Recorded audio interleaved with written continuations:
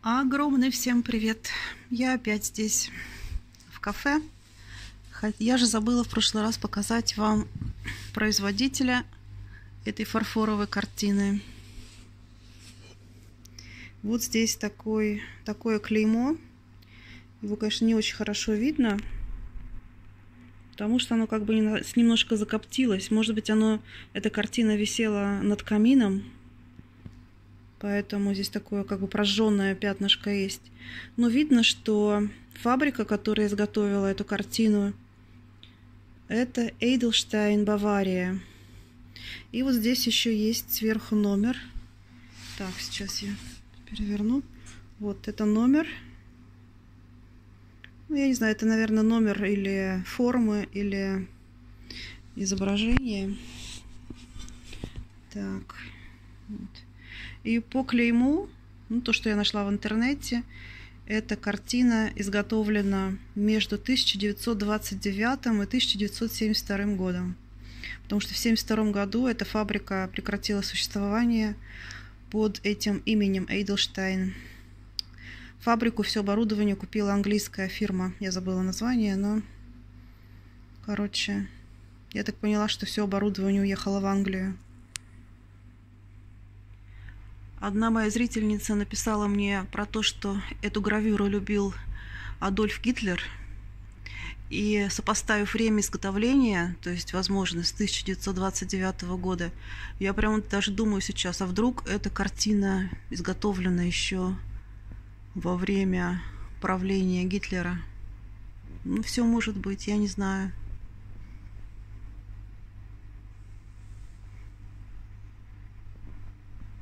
Может быть, есть знатоки такие фарфора, которые скажут мне что-нибудь об этом. Да, и что я хотела еще сказать. Я считаю, что все вы правы насчет этого абажура. Кто мне написал, что ну никак он не вписывается сюда и вообще. Я когда его даже вешала, если честно, у меня было чувство какой-то неловкости. Но хотелось быстренько убрать вот эту голую лампочку, повесить что-то. И я первое, что попалось мне под руку, салфетки. В общем-то, ну, в общем, короче, плохо, я знаю. Ну, я порылась в своих бахрома... бах... закромах, бахромах. Ой, не знаю, что это у меня. Ой. А, в закромах своих порылась, я нашла вот такую лампу. Тоже она старая очень. Я ее привезла еще из Голландии. Вот посмотрите, она такая тяжелая, какая-то кованая. И вставки есть из такого желтого стекла. И фарфоровые или керамические, наверное, керамические такие вставки с ручной росписью. Это голландская лампа. И я думаю повесить ее сюда. Вот так она выглядит. Правда, я хотела бы, чтобы цепочка была чуть подлиннее. А с другой стороны, с такой короткой цепочкой никто, по крайней мере, головой не будет биться об лампы. как у нас часто бывает. Мне вот в этой стороне тоже пришлось вот эту лампу плетеную повесить повыше, потому что люди реально бьются головами. Ну, так вот, когда встают. Так что напишите мне, как вам эта лампа хорошая это альтернатива или нет. Мне кажется, что вполне себе она здесь подходит в интерьер. Вот. Оставлю ее пока здесь, и как только будет возможность, мне ее повесят сюда. Покажу еще чуть поближе. Вот такие медальончики здесь керамические с розами. И такие вставки из э, такого желто-коричневого стекла. Девочки, хотела еще вернуться к этим картинам, которые я нарисовала. Я так поняла, что я как-то неправильно выразилась или что-то в этом роде. Ну, хоть я их нарисовала, получается, сама, но я их раскрашивала. То есть это такие картины, где уже как бы расположен сам рисунок, э, расположены такие участки, сейчас я покажу поближе, и они пронумерованы. И каждому номеру соответствует определенный цвет. И вы закрашиваете эти участки кисточкой и красками. И получается вот такая картина. То есть это не картина в понимании, как написанная картина, это раскраска. Я поняла, что многие как-то относятся к пренебреж... с пренебрежением к такому занятию, но я совершенно не вижу ничего плохого в этом. Это такое занятие, довольно интересное, ведь все мы немножко дети в душе и в детстве. Я, например, очень любила раскрашивать картинки. Это такое занятие, которое снимает стресс, расслабляет, как бы скажем, опустошает вашу голову, когда она забита какими-то заботами и неприятными мыслями. И почему бы этим не заниматься и взрослому человеку? Я не знаю, не вижу ничего предосудительного и плохого в этом. И чем хуже это занятие, например, вышивки по размеченной схеме или вязанию по схеме из журнала, или когда вы шьете себе платье, например, э, выкрой, сделав выкройку, перерисовав выкройку из, э, из какой-то книги или журнала. Хм, я не знаю. Это тоже такое же творчество по схеме, как вышивка, вязание, шитье. А вот этот рисунок, да, он сделан мной лично, без шаблонов, вернее, с природным шаблоном, с натуры веточки герани, которая растет у меня в саду. Иногда я рисую что-нибудь, я не училась нигде, поэтому, не знаю, судить строго меня тоже не имеет никакого смысла. Мои детские рисунки, вот карандашом. А, я уже как-то говорила, что у нас в Германии было наводнение в 2013 году, которое при, принесло много бед и разочарований. И вот одно из моих разочарование это то, что у меня утонули все мои рисунки, сделанные до 2013 года. Рисовала раньше я намного больше, чем сейчас. Сейчас я вообще почти не рисую уже. И не только потому, что мне не хватает времени, но и зрение стало у меня намного хуже.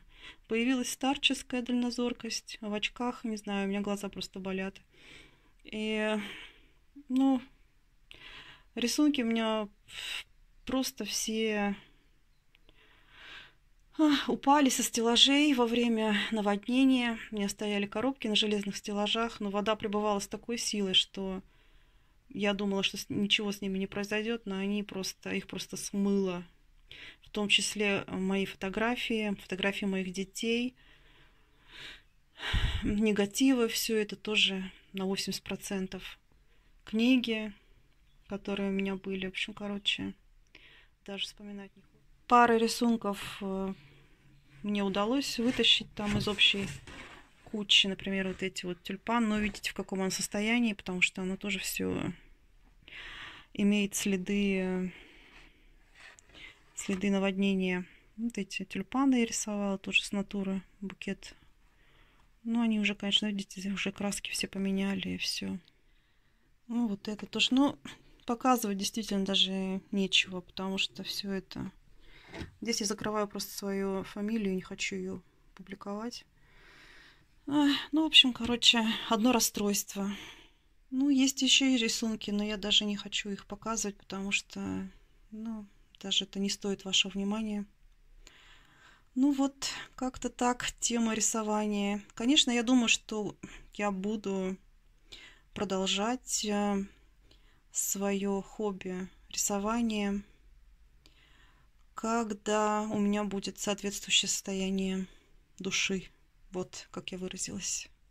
Ну, раз уж дело зашло про хобби рассказывать, я немножко порылась у себя, по сусекам поскребла, нашла пару вещей, сделанных моими руками.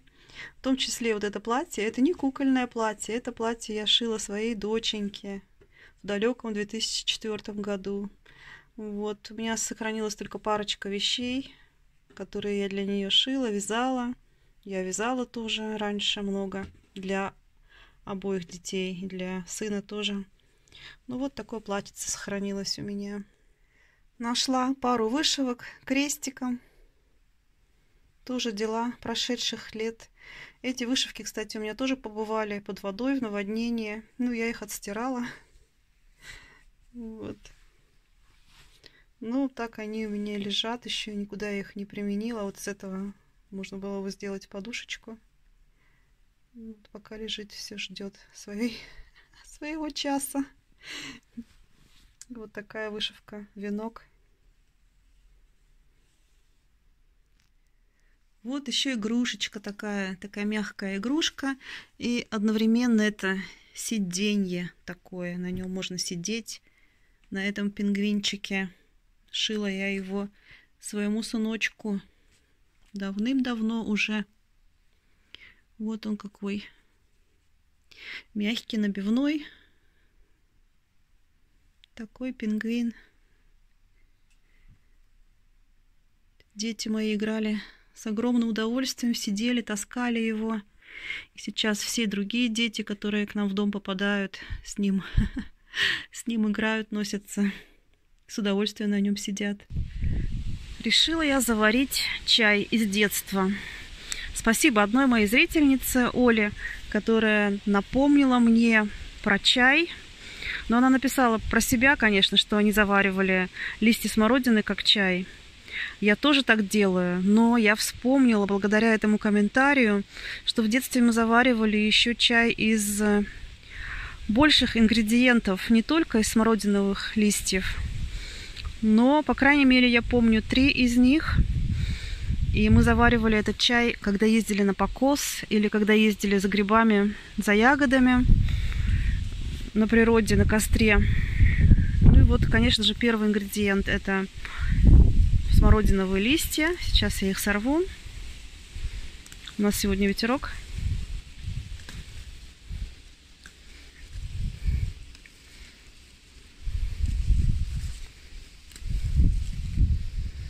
Так. И оказывается, все эти растения, они у меня, в общем-то, растут. Я про них вспомнила. Так здорово, интересно, будет это тот самый вкус из детства или нет. Ну вот, кстати, прохожу сейчас, у меня здесь малинка растет. Маленький кустик прижился в этом году, надо же. Здесь еще малинка.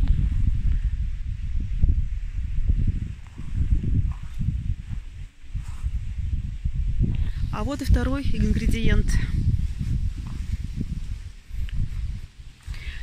Это называется орегано. Но в Сибири это растение называлось душница.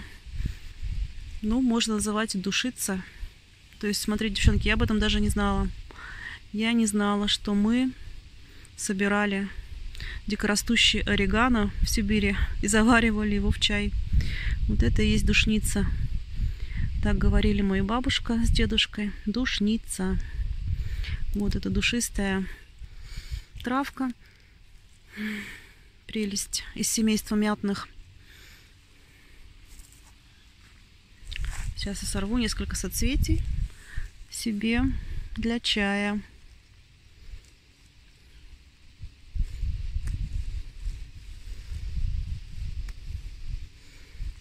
Вот. Ну, раз уж мы проходили мимо, надо заодно объесть малинку. А то что у нас зря висит?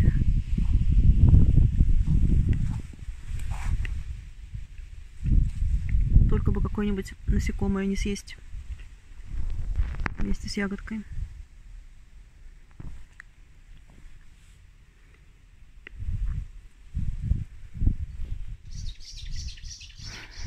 А вот еще один недостающий ингредиент для моего чая. Вот это растение. В Сибири его называли белоголовник, но я знаю, что это таволга. такая прелесть. И сейчас я сорву несколько соцветий для чая.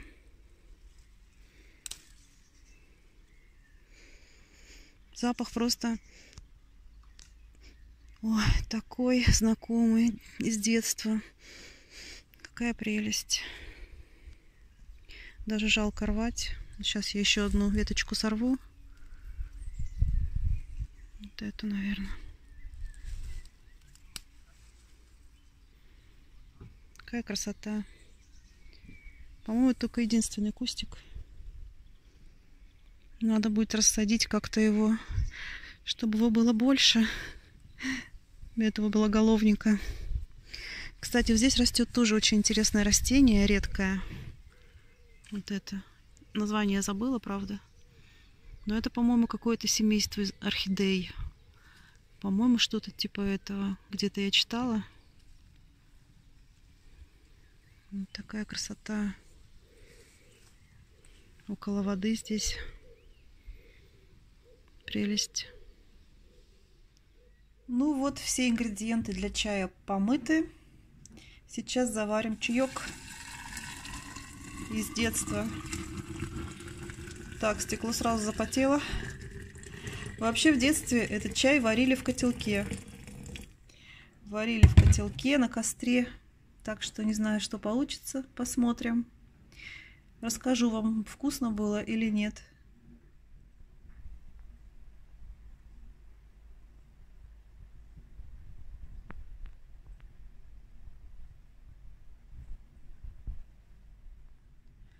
Ну что, настало время попробовать чай. А пробовать я его буду вот в этой красивой чашечке. Старинной, столетней. Вот мой чаек.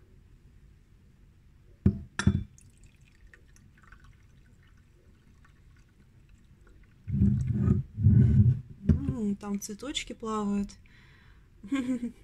Запах, я должна вам сказать, слегка лекарственный. немного меня настораживает.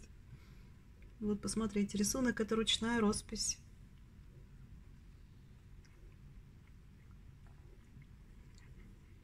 Ну что вам скажу, вкус тоже какой-то слегка лекарственный. Какое-то у меня было воспоминание, какое-то у меня было не совсем такое, такого вкуса, говорю вам честно. Поэтому я не могу сказать, что я прямо советую вам сделать такой чай и с цветами орегано, таволгой и листьями черной смородины. Ну, что-то такое отдаленное из детства есть немного. В любом случае, я попробовала его сделать. Но ладно, пусть мои детские воспоминания лучше останутся такими, какие они есть. Этот чай не совсем похож на то, что я помнила из детства. Но не будем огорчаться этому. На этом я прощаюсь с вами. Желаю вам всего самого-самого хорошего, здоровья и до новых встреч. Пока-пока.